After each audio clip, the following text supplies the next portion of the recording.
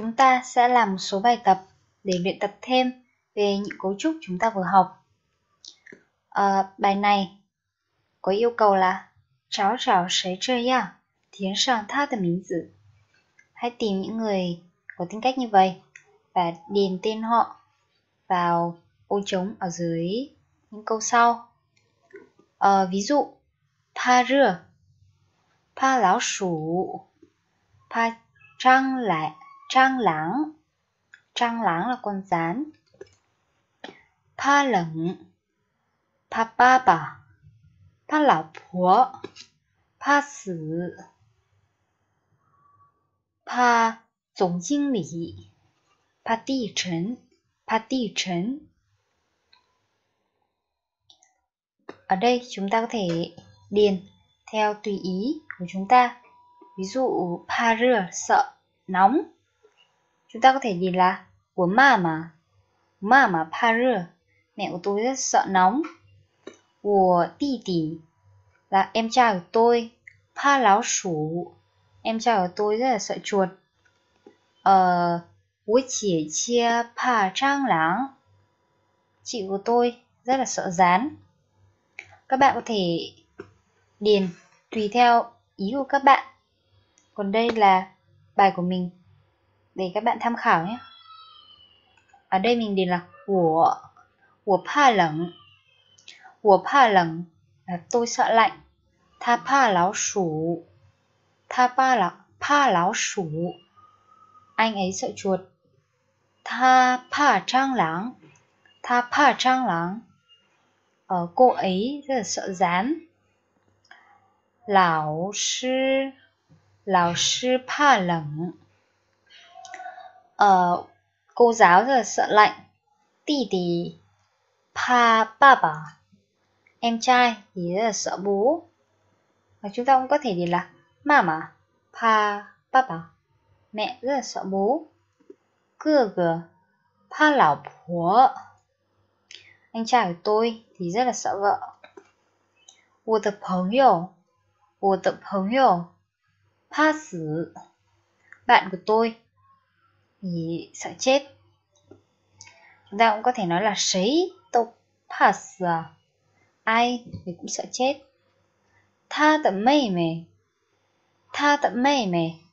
Pa dùng chinh lý em gái của cô ấy thì rất là sợ tổng giám đốc. Và cuối cùng Nhật Bản rến, pa địa chân Nhật Bản rến pa địa chân Nhật Bản nhân là người là người Nhật Bản, địa chân là động đất. Người Nhật Nhật Bản rất là sợ động đất bởi vì nước giật nước Nhật xảy ra mỗi năm xảy ra rất là nhiều các trận động đất Bài tập tiếp theo là dịch các câu sau sang tiếng Trung. Câu thứ nhất, tôi nghe nói mùa hè Bắc Kinh rất nóng. Câu thứ hai, tôi không có tiền mua sách, phải làm sao đây? Câu thứ ba, bạn thật đẹp, bạn thật xinh đẹp. Ờ, chúng ta sẽ phân tích câu này. Ờ, nghe nói Nghe nói thì là từ chúng ta đã học rồi. Đó là thinh shô. Thinh shô là nghe nói. Mùa hè là gì? Mùa hè là xà thiên. Xà thiên là mùa hè. Bắc Kinh là Bắc Kinh. Mùa hè Bắc Kinh thì chúng ta sẽ nói là um, xà thiên tại Bắc Kinh. Nóng là rưa, rất. À, phó từ chỉ mức độ là khẩn khẩn rửa. Vậy thì cả câu này chúng ta sẽ dịch như sau. 听说北京夏天很热。 听说北京夏天很热。Câu thứ hai, tôi không có tiền mua sách. Phải làm sao đây? Ờ, không có là mấy dụ, tiền là chiến, mua sách là mải su. Phải làm sao đây? Là mẫu câu chúng ta vừa học.怎么办? 怎么办? Vậy thì cả câu này chúng ta sẽ dịch như sau. 我没钱买书，怎么办？我没钱买书，怎么办？Câu thứ ba, bạn thật xinh đẹp, bạn thật đẹp. À, thể hiện ngữ khí là khen ngợi. Thật là chân. đẹp, là 漂亮. Vậy thì cả câu này chúng ta sẽ dịch là Nì chân piao liang. Nì chân piao liang.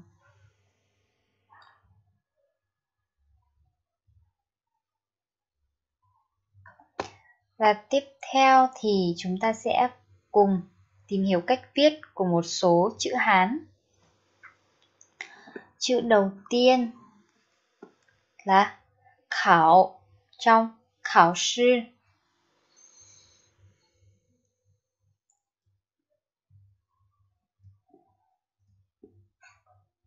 Mình sẽ đánh số thứ tự lần lượt các nét để các bạn dễ theo dõi. Ở đây có bộ thủ. Bộ thủ thì bắt đầu viết từ nét này, 1 2, nét thứ hai. Nét thứ ba. Rồi, chúng ta đã hoàn thành bộ thủ. Rồi đến nét thứ tư. Nét thứ năm.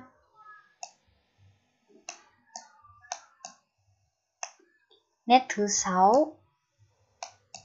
Bắt đầu từ đây và kết thúc ở đây. Vậy thì chữ này của chúng ta bao gồm có 6 nét. Mình sẽ mô phỏng lại một lần nữa cách viết. Các bạn chú ý theo dõi nhé. Để viết làm sao cho đúng quy tắc. Nét đầu tiên. 1 2 3 4 5 và 6 Chữ tiếp theo là thiên trong thiên xua, nghe nói. Chữ thiên bao gồm có bộ khẩu.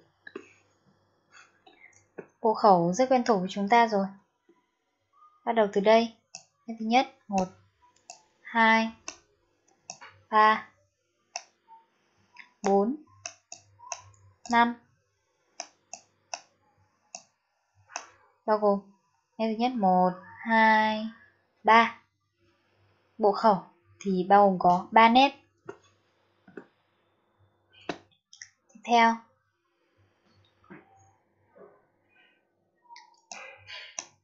Đây. Nét thứ tư. Nét thứ năm. Nét thứ sáu.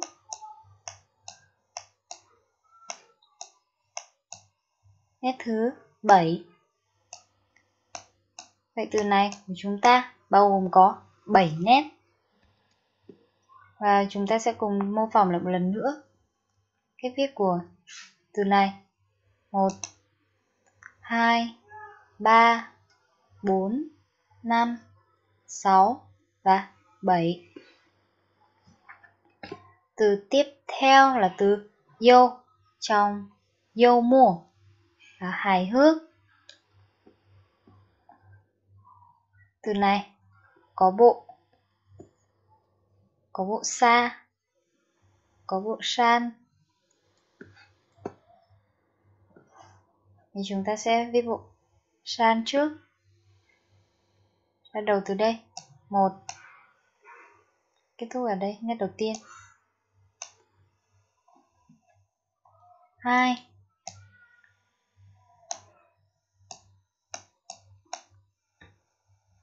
Ba.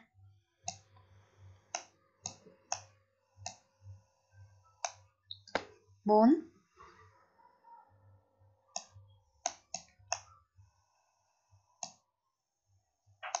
Năm.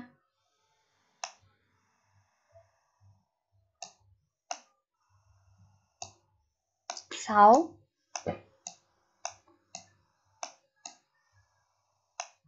Và bên này thì chúng ta sẽ viết tương tự. 7 8 9 10 11